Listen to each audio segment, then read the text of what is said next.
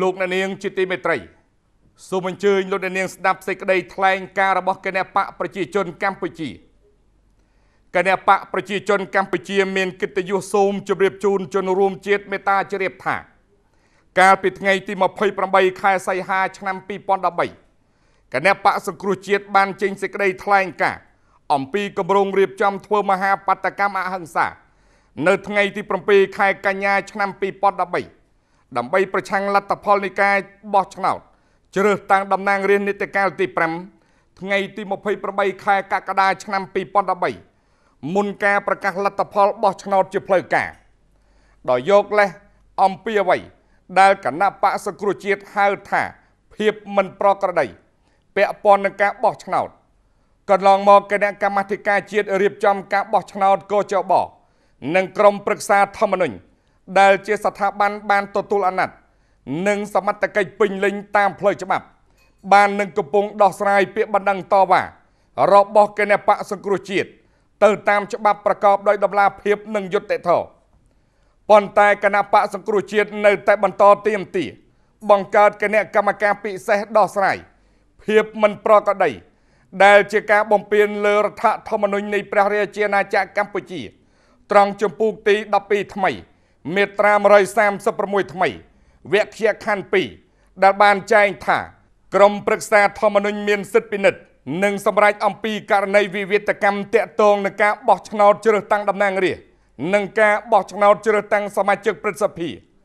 គណៈបកប្រជាជនកម្ពុជា តាំងពីដើមរៀងមក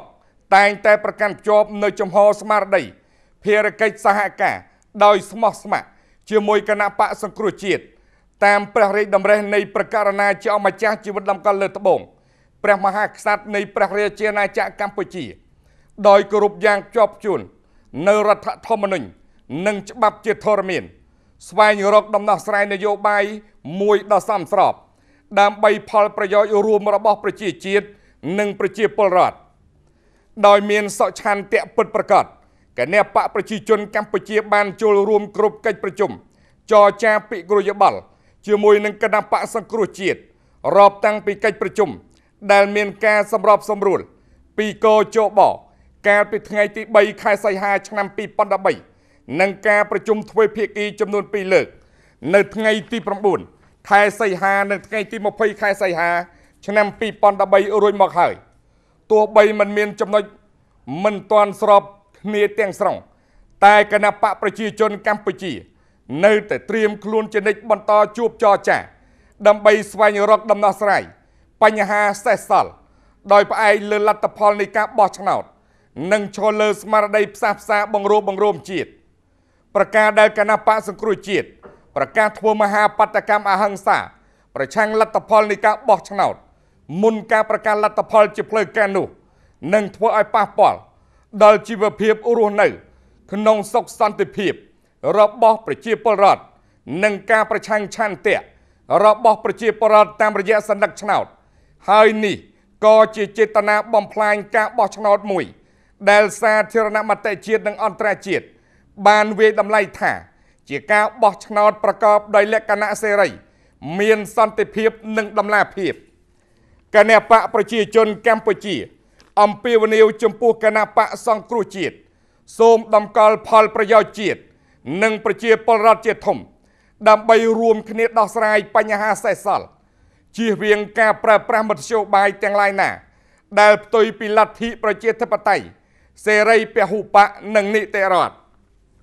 គណៈបកប្រជាជនកម្ពុជា សូមអំពាវនាវសារជាថ្មីម្ដងទៀត ចំពោះបងប្អូនជនរួមជាតិមេត្តាប្រកាន់ភ្ជាប់ នៅភាពអត់ធ្មត់ស្ងប់ស្ងាត់រួបរวมសាមគ្គីគ្នា ថែរក្សាសន្តិភាព ស្ថិរភាពសង្គមដើម្បីសេចក្តីសុខសាន្តភាពរុងរឿងរបស់ប្រជាជាតិយើងនាពេលបច្ចុប្បន្ននិងទៅអនាគតធ្វើនៅភ្នំពេញថ្ងៃទី29ខែសីហា ឆ្នាំ2013គណៈបកប្រជាជនកម្ពុជា